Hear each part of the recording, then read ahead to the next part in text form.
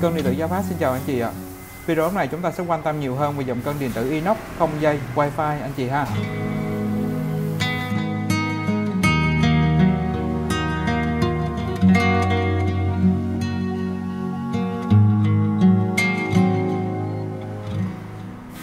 Video lúc này cân tử Gia Phát gửi đến anh chị những anh chị nào mà đang quan tâm tới cái dòng cân wifi á, dòng cân mà cái bàn cân cái màn hình hiển thị số nằm trên bàn của anh chị nè. Mà cái bàn cân này nằm xa xa cách 50 mét gì đó ở một nơi một vị trí khác trong nhà xưởng. À, mà nơi đó là có công nhân cân hàng còn mình thì à, mình là quản lý mình là chủ mình muốn ghi cái trọng lượng nó, nó thuận lợi nó dễ dàng hơn. Ở bàn giấy ở bàn làm việc thì mình sẽ quan tâm cái dòng cân này. Ha thì dòng cân này nó có 300 kg 500 kg 150 kg ở nhiều mức ký khác nhau và nhiều các bàn cân kích thước bàn cân khác nhau. Ví dụ như trên màn hình này thì anh thấy chị thấy cái khung bàn cân này là 40 x 40 nó bằng chất liệu inox nó nó được anh chị những anh chị nào mà trong ờ, kinh doanh thủy hải sản á, thì người ta sẽ quan tâm cái dạng này tại vì nó chống nước chống rỉ. Ha còn nếu anh nhu cầu anh chị mua cân điều cân tiêu cân nông sản cân phế liệu á thì mình có thể chọn cái khung này bằng bằng sắt sơn tĩnh điện để nó tiết kiệm chi phí cho mình. À, còn cái kích thước bàn cân này thì có 40 40 40 50 rồi 50 60 thì tùy theo cái mục đích sử dụng của mình đó mình có thể tùy chọn cái kích thước. Ha rồi còn cái đầu cân này thì mình à, có nhiều cái chức năng lắm. Ví dụ như màn hình ở đây là màn hình trọng lượng nè màn hình ở đây là đơn giá nè, màn hình này là thành tiền nè. Ví dụ trong hoàn cảnh nào đó mình chỉ cần cân trọng lượng thôi, thì mình đặt hàng hóa lên. Mình đặt hàng hóa lên thì nó hiện cái trọng lượng ra như vậy nè. Vậy nè, là hai kg nè. Trước dấu chấm là ký sau dấu chấm là lạng với là gam. Nếu mình chỉ cần có cân trọng lượng thôi thì mình có thể đọc con số này. Còn nếu như mà trong, mình mình cần tính tiền á, mình nhân giá, ví dụ như giá cái món này là 36 ngàn một ký, thì nó lập tức nó hiện ra là ba 72 ngàn cho cái món tiền khách hàng mua. Ví dụ như món này 2 kg nè đơn giá là 36 ngàn kg nè ra số tiền 72 ngàn. Đó, nó trực quan như vậy đó anh chị.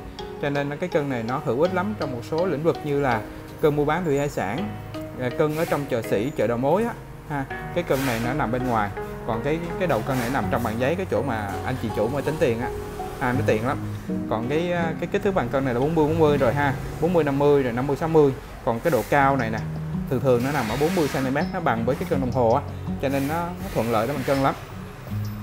Rồi bây giờ em sẽ nói về hướng dẫn sử dụng cái dòng cân này đi ha. Để mình mà mình chọn cái dòng cân này á, thì mình mình dễ dàng sử dụng mình nhận về là sử dụng ngay luôn.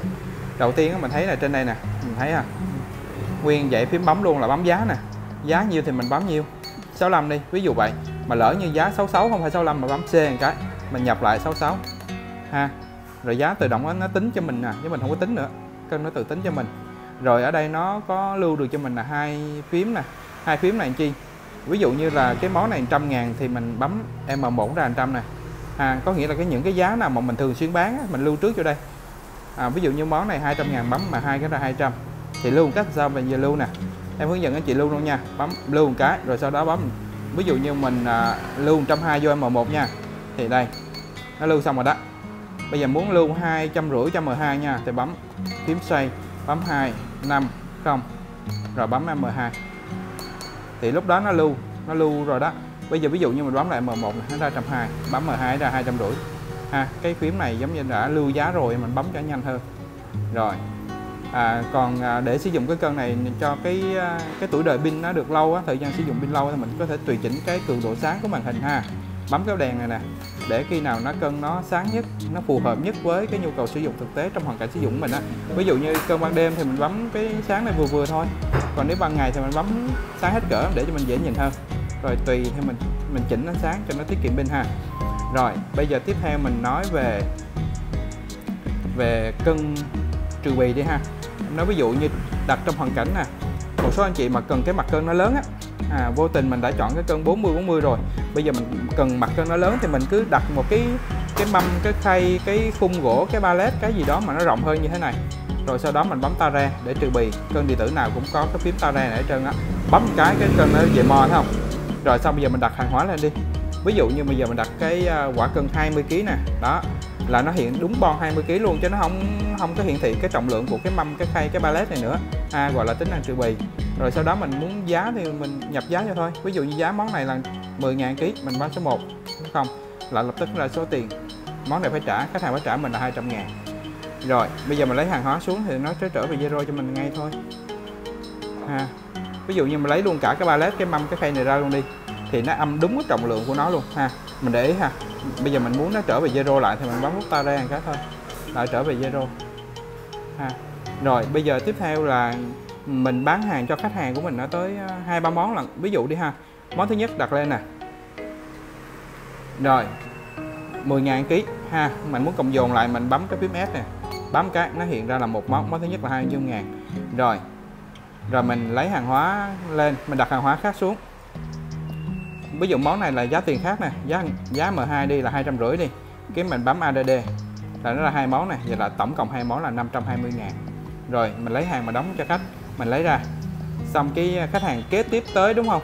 Thì mình phải xóa đi chứ mình xóa dữ liệu vừa rồi đi mình bấm ADD sao bấm clear cho em. Vậy là xong để khách hàng kế tiếp người ta tới người ta mua á thì mình à, cộng dồn lại từ đầu cho khách. Rồi như vậy sử dụng cái cân uh, wifi tính tiền này đơn giản quá anh chị ha.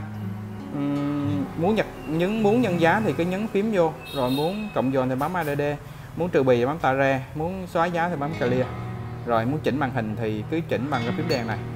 À, nó, nó phù hợp nhất cho cái lúc đó thì mình giữ lại.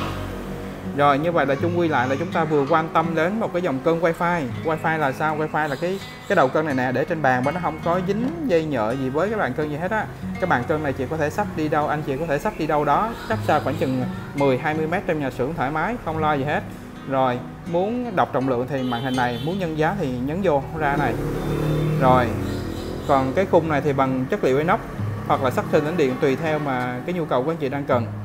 Ha kích thước của nó thì à, chuẩn là 40 x 40 40 x 50 rồi 50 x 60 hoặc là được thiết kế theo cái kích thước riêng theo yêu cầu của anh chị. Chúng ta đã vừa xem xong video clip cân thực tế dòng cân điện tử inox tính tiền kết nối không dây hay gọi là cân điện tử wifi anh chị ha? Có đủ cái mức cân từ 60 kg, 150 kg, 300 kg đến 500 kg cả. À, cho nên là anh chị xem xong video này mà cảm thấy cái cân này nó đúng với cái mục đích sử dụng của mình và mình đang cần tìm mua nó thì anh chị đừng quên gọi đến số hotline hiển thị trong màn hình đó là 0909 89833 đây là số điện thoại hotline quen thuộc của công ty kênh Gia Phát và kênh được Gia Phát sẽ lắng nghe một cuộc gọi của anh chị và giao cân nhanh nhất có thể ạ. À và xem xong video clip này mà anh chị cảm thấy cái video clip này nó mang đến cho chị nhiều cái thông điệp hữu ích về dòng kênh điện tử thì đừng quên bấm nút subscribe hay là nút đăng ký bên dưới video clip này để nhận được nhiều hơn những video clip mới nhất từ kênh tự do phát về hướng dẫn sử dụng hay là về sửa kênh điện tử ạ. À. Chúc anh chị nhiều sức khỏe, công việc thuận lợi và kinh doanh phát đạt ạ. À. Xin cảm ơn ạ. À.